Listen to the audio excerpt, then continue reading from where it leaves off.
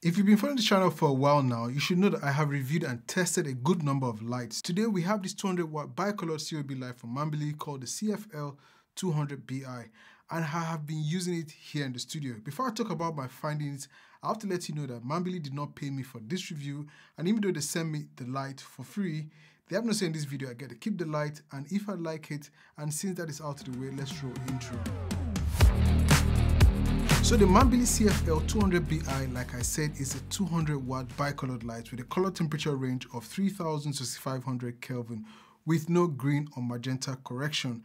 According to Manbily's spec sheet, it has a CRI of 97, TLCI of 98, features Bluetooth 4.0 for wireless connectivity, which we will talk about, has a few effects, and there's also something unique. We'll also talk about that later on in this video. For build quality, I am impressed with how well this is built.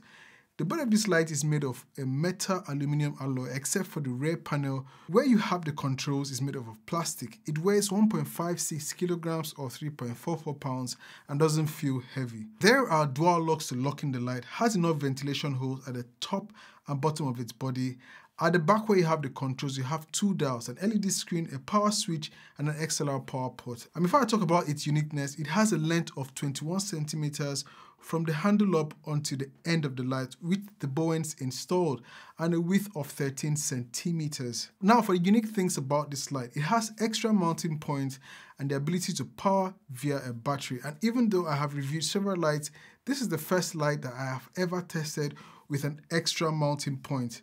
So you have one at the top and the second at the bottom where you have the ventilation grills and there are quarter threads which is actually great as you can rig multiple of these lights together in whatever setup you want. For the price of this light, you can buy these for $199 if you're buying them in the US. It comes with a well padded card box which has the light itself, two manuals, one for operating the light while the other one is for operating it via the mobile app, a 5 meter power lead and its adapter and the nice thing is that the adapter has a hook, which is very thoughtful of them. And it's also an LED cover to protect the LEDs. So for the menu and controls, operating this light is straightforward and simple. I like that you can control the light using the onboard controls, just as you would with this mobile app. And about the mobile app and wireless connectivity and range, the spec sheet say that you can control it from a range of up to 50 centimeters. All right, so now I have the light lined this way. I'm have it plugged in. I'm going to turn it on so I can show you the many controls. I have my Sony a7 IV, which will be getting this side of the light. Eh, it's turned on. I'm recording just to make sure I'm recording. Yes, yes. So I'm recording. I will now fire on the light. It should be at one percent. So this is how it is at one percent. You can see how bright it is with the reflector on it. So I'll have it set at one percent at 600 Kelvin. And to simply increase or decrease the intensity of the light, I can just rotate the dim switch or the dim dial. So that's 1% up to 100% and then I'll kill that down. Let's go back to 1 and you can already hear the fans are sp spinning. I'll leave it at 1%. This is how it sounds with um, the fans on at 1%. Just to show you how it sounds at 50%, I'll increase the light to so that's 50%. I don't know if it's there's any changes in how it sounds. I'll keep quiet for two seconds. So that's at 50%. I can hear it from this distance. I'll lift it up to my eye level. What do you guys think? That's at 50%. Usually you would leave it for a while for it for it to, you know, be hot for a while and so you can see how truly it sounds or hear how truly it sounds. But that's 50% for a few seconds and I'll push it up to 100%.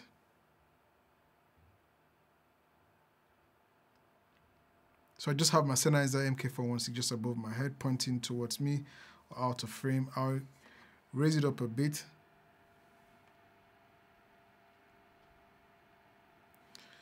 So that's a 100% brightness at, for a few seconds, I'll kill it down to 1%.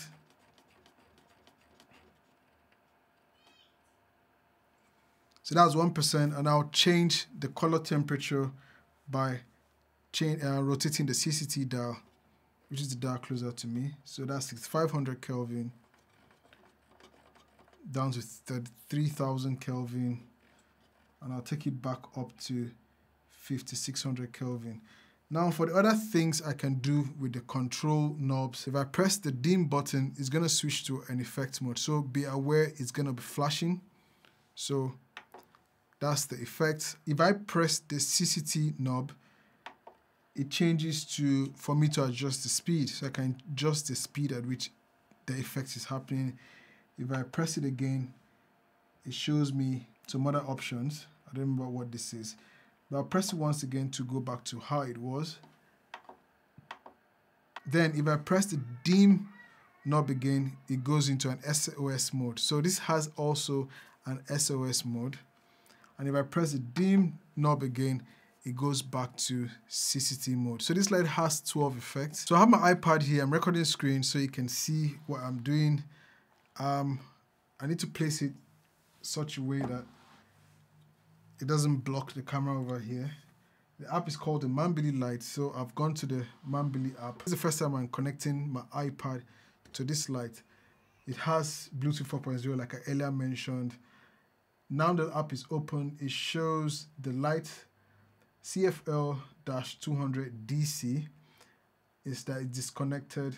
I was I don't need to scan, it's already come up, so I will click connected.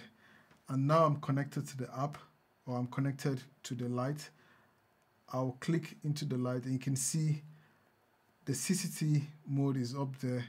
It's showing 4700 Kelvin on the app. So if I adjust it, it should also adjust. So it's adjusted to 50 kel um, percent. Then you bring it down to 1%, but it should be at 6000 Kelvin. So if I bring down to 3000, yes, it also is affected on the light. So I can take it up and bring it down. So that's CCT mode. I can also access, can I access the HSI mode? I don't think I can access because this is a bicolored light. It, it doesn't have color, so I can access or use the H, HSI mode. But I can use the effects mode and it has one, two, three, four, five. It has 12 effects inbuilt. I can mimic lightning. That's lightning. I can mimic um, flashing light you can cycle through different effects that's and I'll come out of it so it doesn't disturb you guys. And I'll take it down to to 1% 1% and I can also activate the SOS mode through did it work? The SOS mode didn't work via the app. So that's it for the app.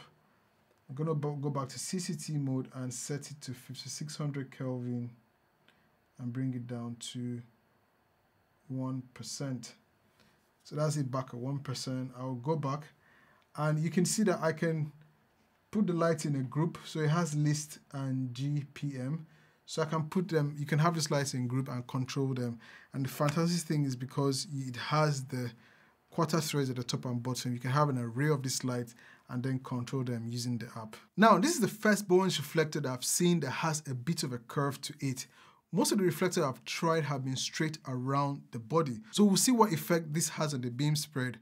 Once again, the spec sheets claim 7,577 lux at 6500 Kelvin without a reflector from a distance of 1 meter and 49,200 lux with a reflector installed. At 3000 Kelvin from distance of 1 meter, they claim 6,338 lux without a reflector and 39,500 lux with the reflector installed. With no modifier, the CFL200 produces a very wide even spread that can light up any large modifier such as a dome. The results are the same regardless of the CCT dialed in and as expected, the shadows are nice and clean. With a supply reflector, it appears to have the beam concentrated in the middle and not fairly consistent light spread I guess the idea here is to have most of the power concentrated in the middle. Results are the same once again with respect to the CCT. You also get multiple soft shadowing. When I apply the Bowens reflector from my Godox VL150, the beam spread seems to be more concentrated in the middle as with the supply reflector. The results seem to be the same regardless of the CCT dialed in. You also get soft shadowing. With my Calibre Passport Video Checker and DaVinci Resolve scopes at a distance of 1 meter from the light, this is what I get. I have the light set at 5600 Kelvin at 1%, while the camera is also set at 5600 Kelvin with a plus 10 magenta correction. So I've just swapped out my Sirius C150X light, which is the light I currently use here in the studio, for the Manbily CFL 200 bicolored light. It's currently off. This is how it is with my backlight on and it's at 0%. Using my iPad, the mobile app, I'll push it to 1%. So that's it at 1%. What do you guys think? Any difference? I'll just take it to, and push it up to 3%. So now it's at 3%. Now, regarding areas to improve, I would strongly suggest that the mobile app, although it's very functional and responsive, can be improved in terms of the UI. It's having English and Chinese on it. Maybe just English, and then if you're launching it for the first time, you can choose what you want to work with.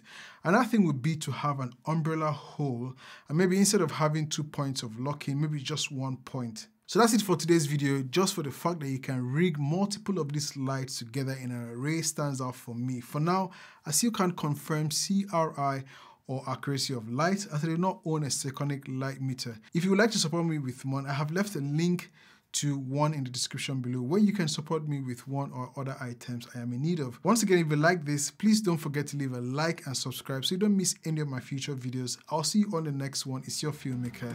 Peace.